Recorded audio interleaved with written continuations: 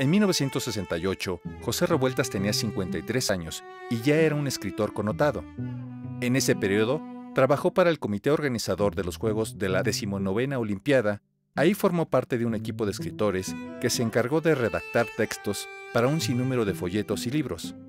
Así, lo sorprendieron las primeras represiones contra estudiantes en el mes de julio.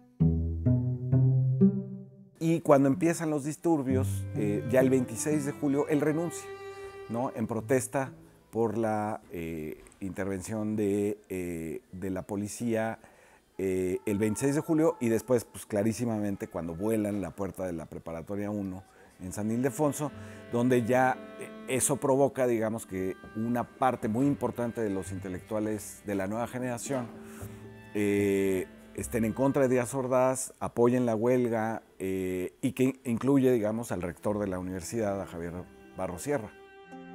Era habitual para los estudiantes que llegaban a la Facultad de Filosofía y Letras observar a José Revueltas escribiendo.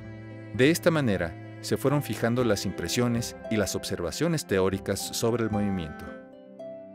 Pero Revueltas es el militante, el convencido, el sacrificado, que se va a vivir a la Facultad de Filosofía y Letras, que duerme en el aula magna rodeado de manifiestos y de tambos de, tinta para el mimeógrafo, ¿no? Y que se va a vivir ahí porque es el más comprometido.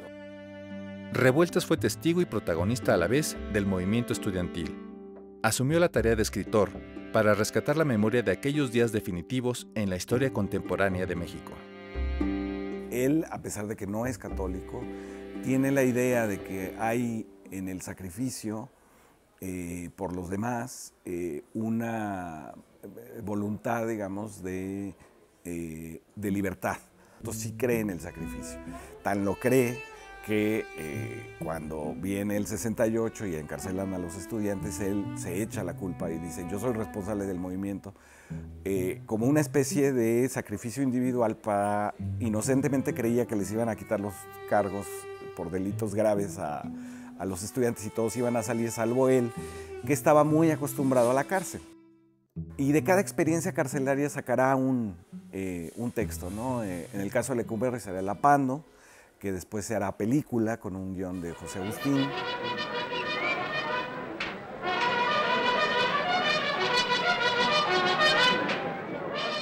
Yo creo que Revueltas, eh, por su ideología, por su postura política, eh, ha sido negado como escritor durante mucho tiempo. Y yo creo que hay que releer a, Revueltas.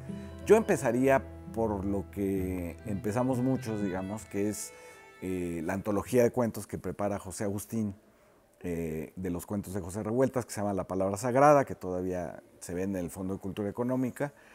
José Agustín conoce a Revueltas en Lecumberri. Y después yo sí ya le entraría, digamos, a las novelas a todo aquel que le guste Dostoyevsky y que le guste Tolstoy, le va a gustar José Revueltas y sus novelas. ¿no?